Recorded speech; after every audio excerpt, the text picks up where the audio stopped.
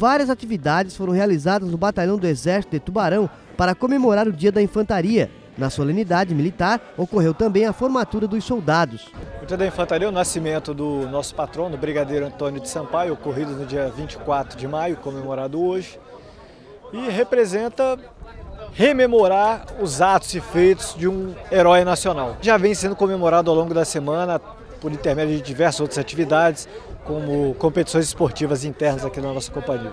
Autoridades e familiares dos soldados prestigiaram a solenidade que marcou o Dia da Infantaria, comemorado em 24 de maio pelas Forças Armadas em todo o país. Em Tubarão, a data foi relembrada neste último sábado.